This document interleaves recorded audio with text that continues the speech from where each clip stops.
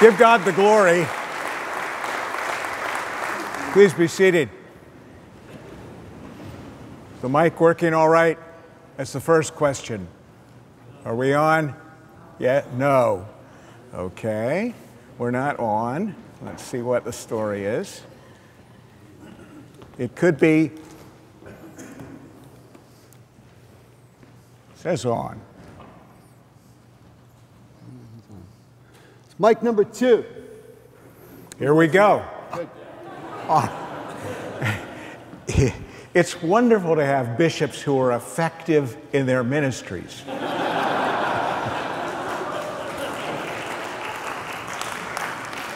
and you surely have a bishop who's effective in his ministry.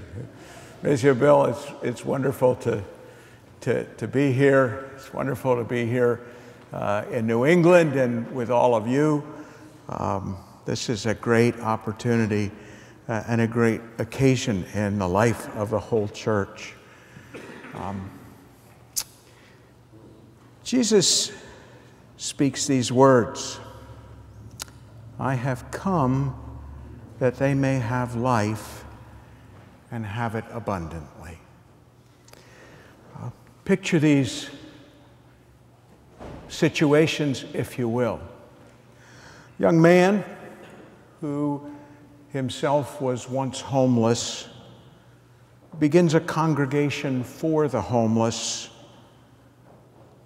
and reaches hundreds on the streets. A young couple with a both of them with an artistic bent, gathering a congregation that accesses people uh, through uh, their body art, through tattoos and the stories behind those tattoos. A bivocational priest who loves the elderly and founds a congregation in an assisted living community, a congregation that in turn decides to plant more congregations in other assisted living communities. Or, if you will, picture a seminarian uh, raised in a Christian household, but a household with much more law than grace, who determines to and believes he's called to establish a congregation on a Christian college campus, calling the church grace and inviting those who only know law into the experience of God's love. Picture, if you will, a band of displaced believers um, who are used to cathedral music, who determine that the Lord is calling them into the city's restaurant district to establish a congregation they call Incarnation, which helps people to understand that God can be reached through beautiful things and beautiful songs. Imagine, if you will, uh, a Kenyan immigrant who's involved uh, in an Anglo congregation, who recognizes that there are hundreds of Kenyans in the city, and who invites his congregation to found a new congregation that's a Kenyan service in the Anglo church. Or picture a group of retired men um, who have a Matthew 25 heart and carry the Kairos movement to a maximum security prison where there's now a congregation of believers. Imagine a Christian mom trying to help the underserved in her community just because she cares about people and she's a Christian believer and she discovers scores of first generation Hispanics, Latinos. She befriends them, she connects them to the local social services, establishes an English as a second language school, and suddenly there's a Spanish congregation in her church. Imagine all those things, if you will. This is the Anglican Church in North America. The congregations I describe are actually congregations I know in the Diocese of Pittsburgh, but you know lots of these congregations here in New England. There are hundreds of them. Hundreds and hundreds of these stories. And I believe there are thousands more yet to happen. Right? Thousands more yet to be established. The Anglican Church in North America says that the church's mission is chiefly done through its mission agencies, and those agencies are chiefly local congregations. That's how the transforming love of Jesus Christ reaches the local community. It's how the transforming love of Jesus Christ reaches the nations, quite literally, the nations that are all here together in this land. The fundamental agency, the local congregation. What Bishop Bill has asked me to do is to address you in some manner about how this all fits together. um, uh, what's the coherence? It's a question that I'm often asked as I travel ar- around the world, and uh, folks examine me about what's happening here and about this thing called the Anglican Church in North America, which is how I always refer to it as opposed to something that sounds a bit like a skin disease. uh, I, I'd encourage you to, to, to always refer to it as the Anglican Church or the Anglican Church in North America, because that's what we are. Anyway, they want to know what holds it together. Is there any coherence? And so, uh, what I'm going to speak to today is how all those examples of congregations and how all the congregations that you represent hold together. What's our coherence? How would you make sense of us? Eh, the first answer to the question is, of course, that it all holds together in Jesus Christ, right? And that's what this enterprise is all about. That's who we proclaim, that's whose love we try to bear, um, that's whose message we bring to the world. Jesus, he himself says that he's the life as we look around, uh, it's no wonder that, um, that Hollywood does a lot with zombies and the living dead. Don't you see a lot of living dead all around you? You know, or living sort of who need some kind of um, some kind of uh, medicine to dull the pain or to mask the symptoms of a life that's a life without meaning. Jesus says that he comes to give life and to give it abundantly. Um, we know a Lord, we have a Master who um, is is what it is to be alive. And, and we in this room know that. Remember that Jesus speaks these words in John 10, in the context of his teaching about sheep and their shepherd. And he says it's the thief who comes to kill and destroy. That's the first half of the 10th verse of the 10th chapter of John's Gospel, and the second half of the 10th verse of the 10th chapter of John's Gospel. I have come that they may have life and that they may have it abundantly. Jesus is the coherence. He's, he's the chief answer to the question how does it all hang together? He's the life. He also says, as you well know in John's Gospel, that He's also the way, the path. We're, we're on a journey somewhere. This life does have meaning when it's a life lived for God and for Him and in the power of the Holy Spirit.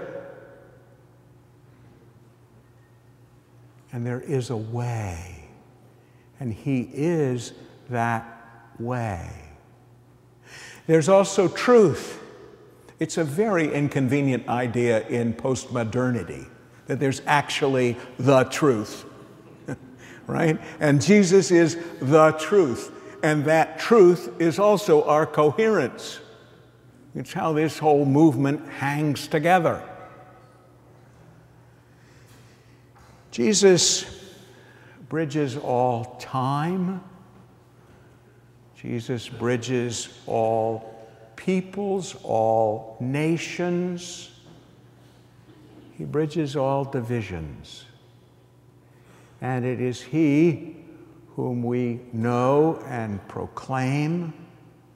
In each of the situations that I described as congregations of the Anglican Church in North America, congregations that all of you represent.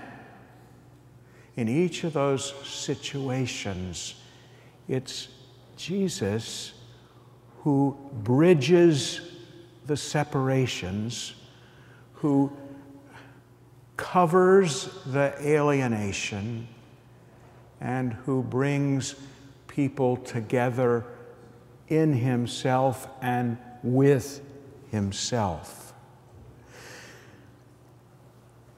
It's also the case, brothers and sisters, that this all fits together, not only in Jesus, um, but in his body called the church. Okay? Again, he, he ascended bodily into heaven and he gave the Holy Spirit to his followers that they might be what? The body of Christ. And you are the body of Christ. Remember what Peter says in his first letter to the church? You are a chosen generation, a royal priesthood, a holy nation, God's own people, that you may declare the wonderful deeds of Him who has called you out of darkness into His marvelous light. That's our identity, church. It's our identity in Him, but it's also our identity when we are who He's called us to be. And one of the ways in which we could describe um, what his body looks like, and it, it's, it's pretty useful to actually go to the foundational documents. Uh, there are four things in the creed that are called the marks of the church, right? Okay, what is it? It's one. Okay.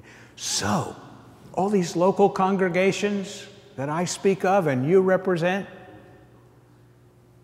they all are one in the church. There's no such thing as an individual Christian in one sense, and there's no such thing as an individual church because the church must be one. And its oneness is amazing. uh, because it's not only transcultural and transnational, but it's transtemporal. Okay? So we're, you know, today's St. Matthew's Day. Okay, so Matthew ora pro nobis. Matthew, the whole company. We'll pray later in the day together with angels and archangels and all the company of heaven. Do you believe that? Are they singing that song? Are we singing that song? The church is one throughout the world and throughout all time. And the church is one in bridging heaven and earth. The Creed also says that the church is holy. And we really, brothers and sisters, these are the things we aspire to. The church is holy, it's set apart, it's different. Again, when they walk in our doors, they're supposed to have a foretaste of heaven.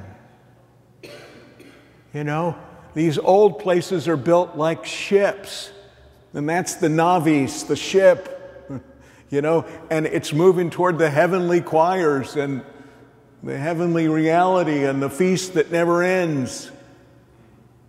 It's not like the world outside. It doesn't, it doesn't reflect that world. It reflects another world. It's holy, it's set apart.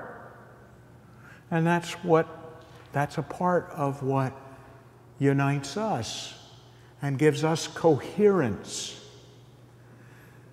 Many of us came out of situations where the church was unfaithful, where instead of the truth without diminishment, there was constant compromise and unholiness.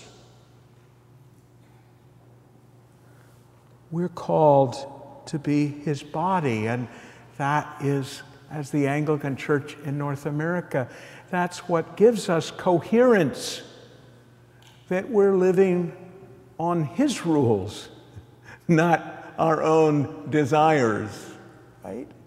I mean, we mess up all the time, which is why we begin every day in the daily office with getting on our knees and saying, you know, uh, apart from you, there is no health in us.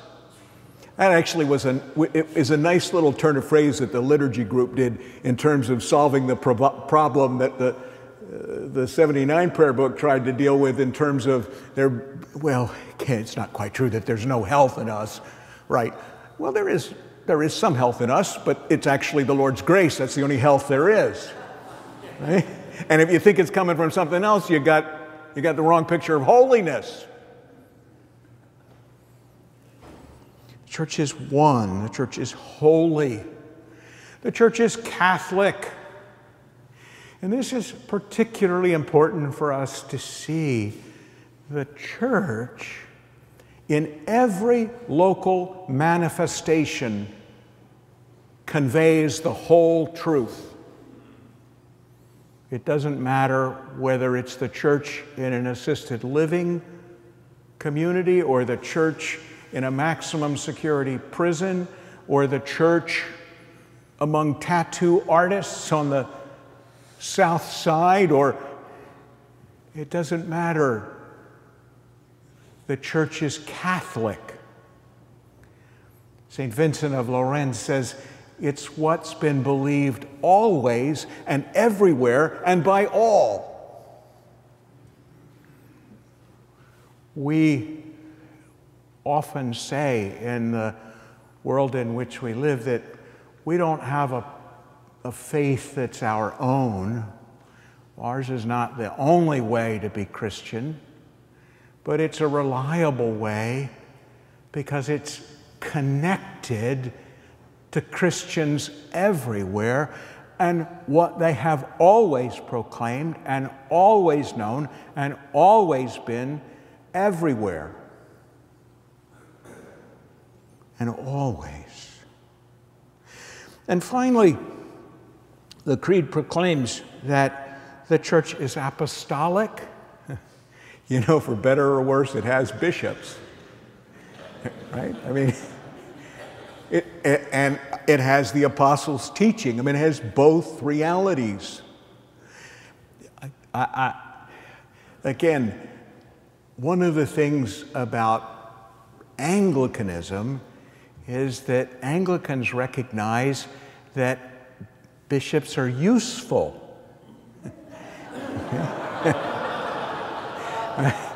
now, we're particularly useful for encouragement and correction. You don't like the correction so much, but that's how the church remains holy and Catholic and one. You greet me so warmly as Archbishop because I connect you to every other diocese and every other congregation, and indeed to the church throughout the world in my office as your primate, the one who represents the whole and what the whole church is about, and who keeps the teaching authentic, rooted, clear. So we hang together because we exhibit and we desire the marks of the church that we are one, that we are holy that we are Catholic and that we are apostolic. In all of this, the apostles were, of course, missionaries and evangelists, and some inhabit the office, but all have the work. We are to share with the world. We are witnesses to what Jesus has done. And in our time and in our communities, it's our work to share that truth, that master, that vision. We're a missional church. That is, we're sent just as the apostles were sent. Go and tell what you've seen. We're a global church. Remember, friends, that we came into existence because the church throughout the world gathering in Jerusalem in 2008 with a bit of a proclamation that while Canterbury was important, Jerusalem was even more crucial to the story and to the identity and to who and what we are. But it was a conference there, the Global Anglican Future Conference in Jerusalem, that called on us in North America to form the Anglican Church in North America.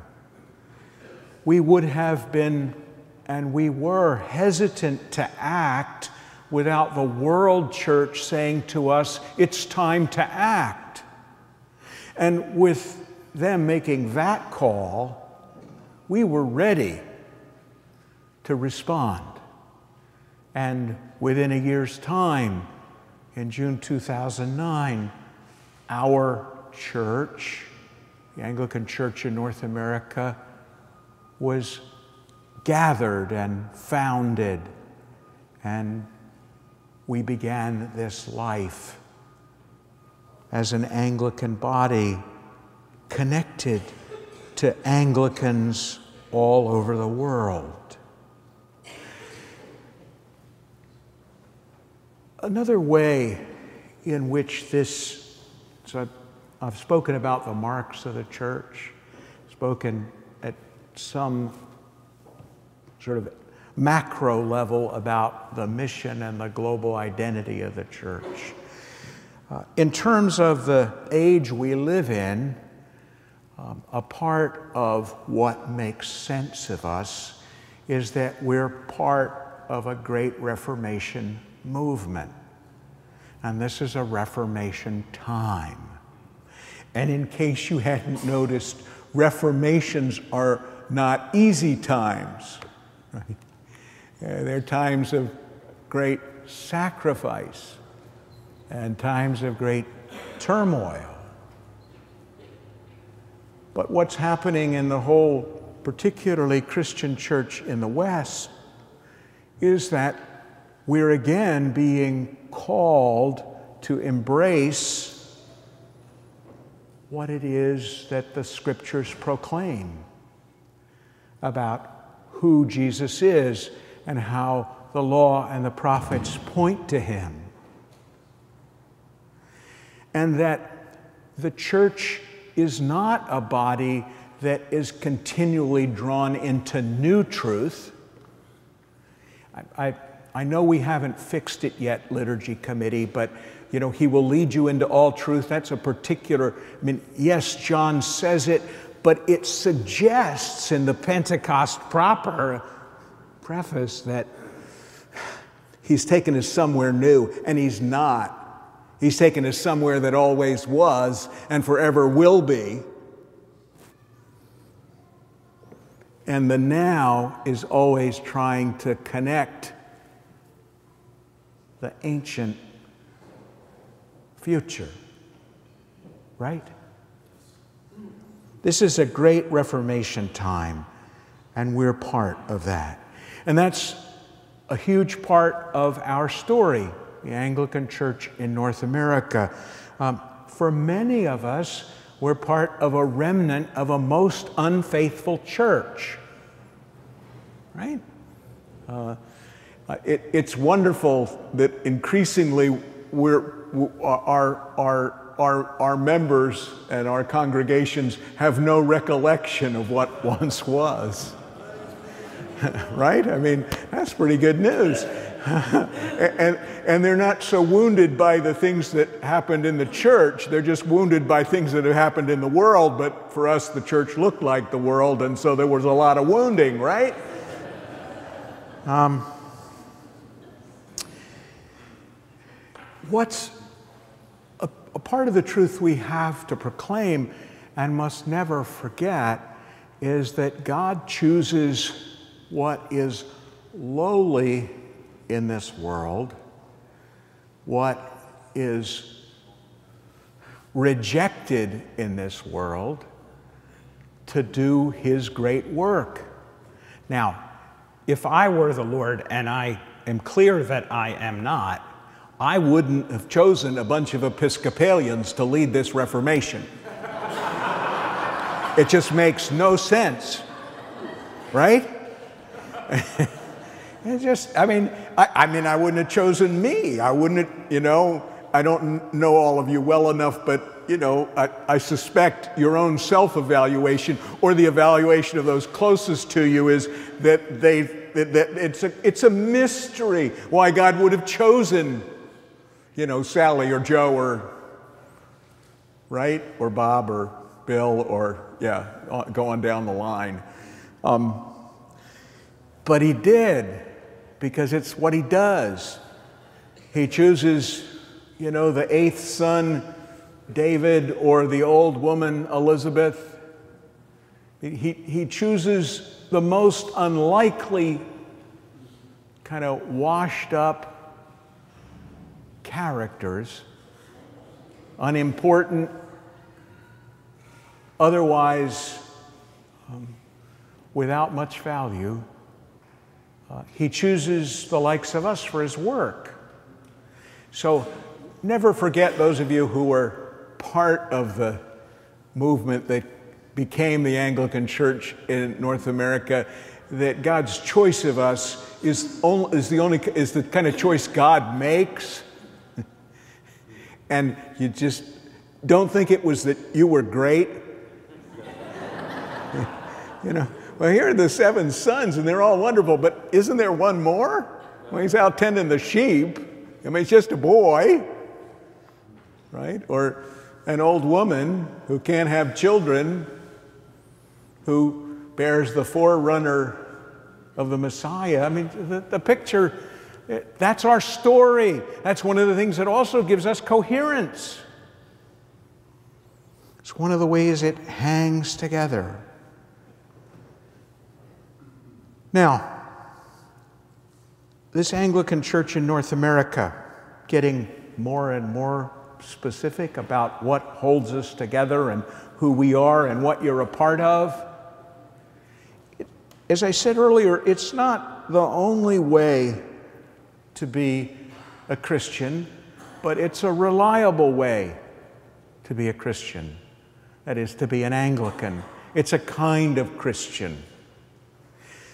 One of the realities and one of the things that I think makes it and makes our movement so useful to the world church now and to the broken society, communities, nations in which we live is that our identity has always tried to bridge the evangelical and the Catholic and the charismatic we don't, we're under the Word of God, right? That's, we can teach nothing that's contrary to God's Word. It's the ultimate rule and standard of faith. We know that, right? But we also know and celebrate that God hasn't been on holiday as the Brits would say, since apostolic times. Right? I mean, he's actually led his church, he's been connected to his church, and all those who believed from the time of the apostles to the present actually have some things to say to us. They wrestled with the same issues we wrestle with, at least in terms of what it means to be human. And so giving them heed is part of what we do. Now, some of the things we do are things that are not important except they're important to the family because the family remembers. You know, when husbands and wives got married, you know, one of you might have come from a family that put an angel on top of the tree, and the others had came, you know, had a star on top of the tree, and you had to figure out which. You know, they were both important to you. Nara and I have this problem about I like colored lights, she likes white lights, you know, but that's because how it was in her family. You know, some of the things we do, like how we dress for worship or, you know, that we mix water with the wine. The family's always done it. We remember what the family's always done. We attach significance to it and even theological meaning. But what's happened in 2,000 years, like what is revealed in the Word of God, matters to us. And it's also true for us as Anglicans that we understand that it's not by wisdom, it's not, that, it's not wisdom we come to bring, but the church is grown by the power of God who still shows up. You know, there's nothing like a contemporary miracle to compete with any technology. Have you found that? We'll see. I mean, again, Anglicans know that God still does this stuff, just like it says in the pages of Scripture. So, our, our tradition, who we are, what holds us together, is that somehow we hold these three streams together. And in each of our local congregation, one stream may be more significant, more dominant than the other two. But what we've been able to say as a church, what I've been able to say as your archbishop, is that any congregation that holds itself accountable to the Word, accountable to the tradition, and accountable to the Holy Spirit, or said another way, to the transformation of society, which is what the Holy Spirit is up to, any congregation that holds itself accountable to those three things in some balance is an Anglican congregation. And of course, the, the truth is, it, it's so much why right now we're so attractive for those who are looking for a solution to both the church's and the world's problems. And it's not that we're anything of ourselves, it's just that we open ourselves at our best to the whole truth about God and about what His church, both in Scripture and through the ages, has looked like. We are in the, the, the great vision that Robert Webber of Wheaton College had uh, Uh, we, we are this ancient future movement. And the, those who are looking for something that holds, that lasts, that's a reliable container, or a reliable, yeah, it's container's a good word, reliable container for the Christian truth. It, it is, can be found here when it's true to itself. We're evangelical and Catholic and charismatic. It's also the case that we have some practical tools that hold us together. Um, we have, uh, I, I, remember the story of um, a congregation that was leaving its building. You know, lots of us have left buildings and stuff behind. Uh, and that was told it could take the Bibles but not the prayer books. okay? Um, I, you know, go figure. Liturgical Unitarianism. Um, I have to be careful in New England. Um, the, the, it was King's Chapel in Boston where Unitarianism began by just striking the Trinitarian formula out of the prayer book. Um, our first tool is the Word of God. We know that, we love that. Our daily office has it. Re- read and engage it every day, every part of it. That's our greatest tool, our greatest truth. We also do understand that the Book of Common Prayer, um, as uh, has been observed, uh, is the Bible arranged for worship. and what we're trying to do as we produce uh, an authentic prayer book for the 21st century church in North America, for the Anglican church in North America, is to actually restore to the prayer book that deeper sense that it is scripture arranged for worship. I mean, think back to morning prayer. It's just scripture arranged for worship. It's, a, it's, it's just such a powerful tool. And again, it is a tool that binds us together, and we must never leave it in the dust.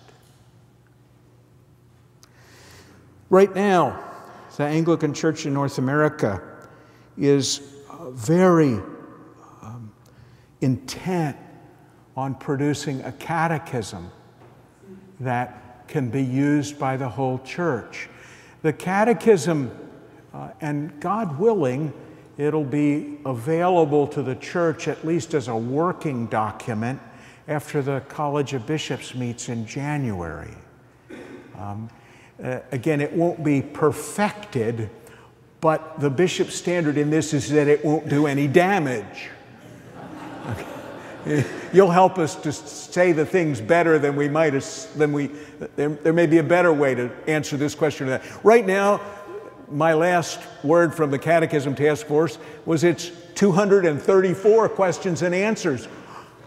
Why so many? Well, because it's a catechism written for a time after Christendom. The old catechisms were written for Christian culture. And that's not where we're living anymore. It will be a document that unites us as a church in teaching that's true and reliable and represents what the church has always said about the Lord Jesus and about all the aspects of human life in relationship to the Lord and in relationship to one another. Um, what we know, and I shared this with a clergy meeting yesterday, was that uh, our catechism uh, it has already been translated into Chinese and Spanish, and most wonderfully into Urdu and Farsi. The last two, because the Bishop of Iran thinks it's so useful to a non Christian culture that he can't wait to start to use it with his people. Okay? We know that there is a teaching that the church must receive. And we know that we've done a very poor job in discipling the people of the church. Catechism, a practical tool. We also, we, we, we built the, this church on um, a notion uh, and on an understanding that the tithe Ah, yes, I said it. The tithe is the minimum standard, yes, minimum standard of Christian giving. Okay?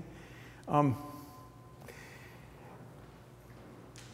what the church has learned and what we proclaim is that once you're given away at least 10% of what you have, you have to trust the Lord right? So if you aren't doing it, start doing it, right? Tithing. Um, again, a tool. We understand that the, the individual gives 10% of what he or she has to the work of God, chiefly through their local parish. And that parish gives 10% to the life of the diocese. And the diocese gives 10% of what it has to the, uh, to the work of the province. You're also part of a province, and some of the, as this weekend flows, um, some of the attention shifts to the Anglican Relief and Development Fund. And that fund, which is the international arm of the Anglican Church in North America in terms of the least and the lost and the last, the standard we've set for ourselves there is that we'll attempt every year to raise as much money for development and relief in the rest of the world as we spend on ourselves in the province here. Okay? So if our budget of the Anglican Church in North America this year is something like $1.7 million, then we're aiming to raise $1.7 million to give to relief and development projects. Because if you have two coats and you see that your neighbor has none, one or has none, what do you do? Give him one of your coats. You know, that's kind of 50 50 stewardship. We believe in that too. Tools to keep us honest in who we are, and the practical tool that's the communities of which we're a part. We like to say in the Anglican Church in North America that our method is converted individuals in multiplying congregations fueled by the Holy Spirit. Okay, can you say that? Converted individuals in multiplying congregations fueled by the Holy Spirit.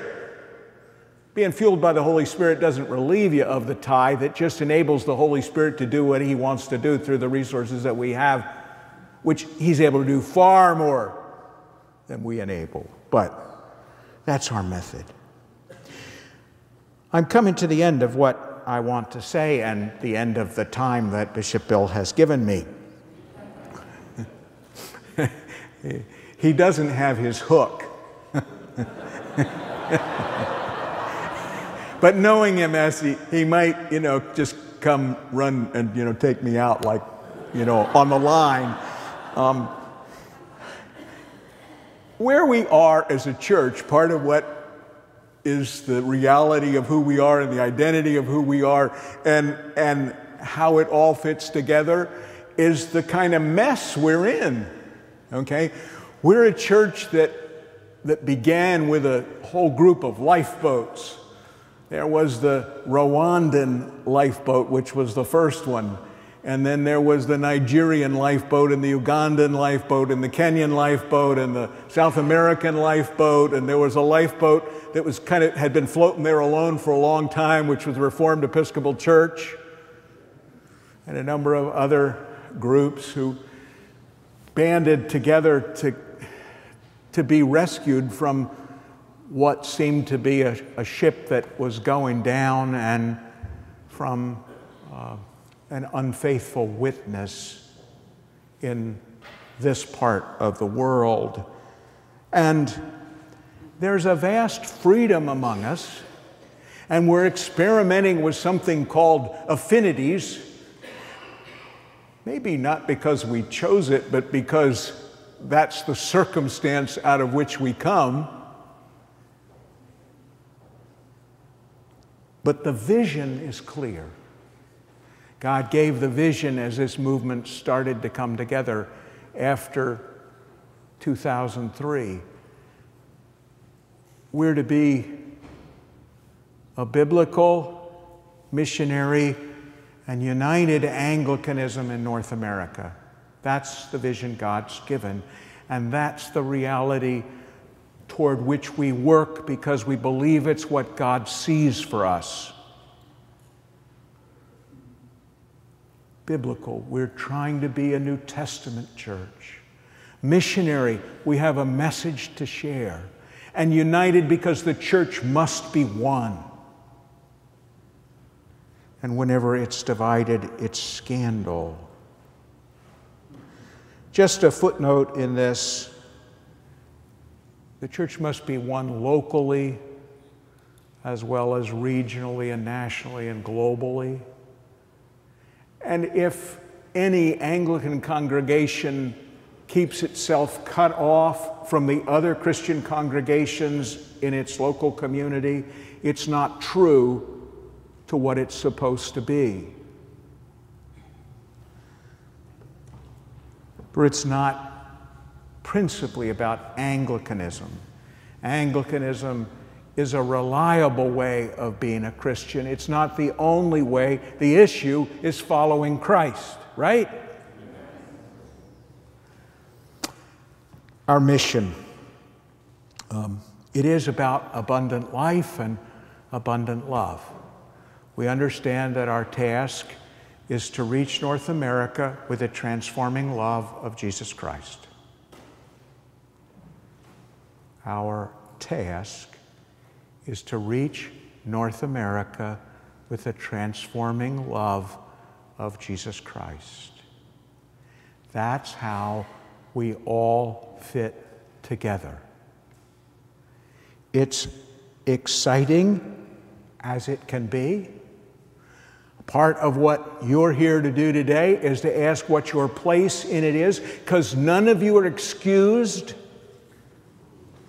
from this enterprise. Jesus says, I have come that they may have life and have it abundantly.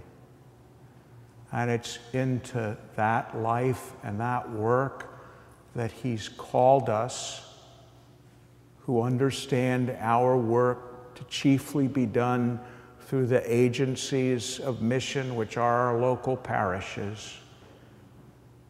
We are to act locally, but think globally. That's how it all fits together. I thank you for your attention. Thank you for your ministry. Um, and together we'll move forward. God bless you all.